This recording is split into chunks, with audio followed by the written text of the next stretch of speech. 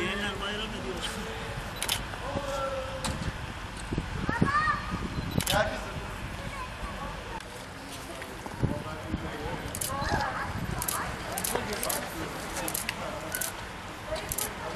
ya düşünmesi lazım.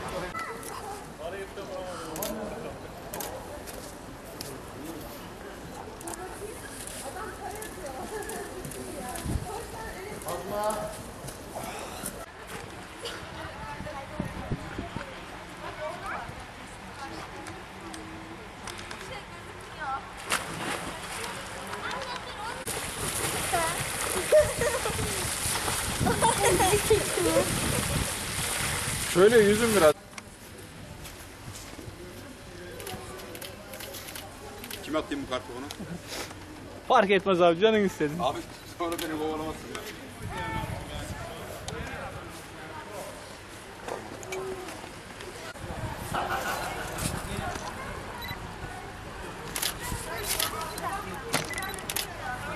Bir tane de buraya bakalım.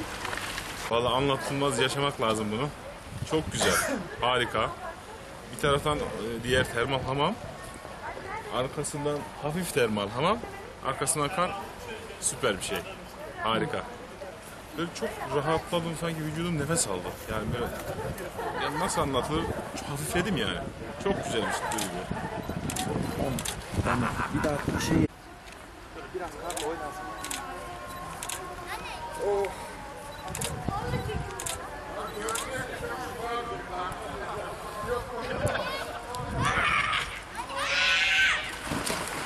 Valla süper bir duygu. Yani her iki mevsimi de yaşay- yaşıyoruz. Ee, yaşamaya değer yani. Bir tarafta kar, bir tarafta sıcak. Ee, çok güzel, çok güzel bir atmosfer yani. Ee, çok zinde yapıyor hem insanı. Ee, aktivitelerimizden birisi de o. Karda, açık havuzda insanların mutlu bir şekilde tatillerini geçirmesi. Bize dönüşleri çok iyi oluyor.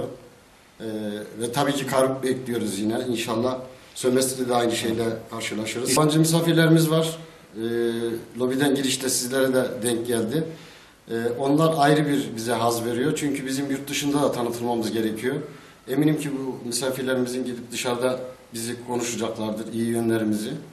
Ee, bu bölgede bu bölgede böyle bir e, karın altında havuza girmek, termal keyfi yapmak e, misafirlerimizi oldukça memnun ediyor. Bu da bize çok büyük haz veriyor.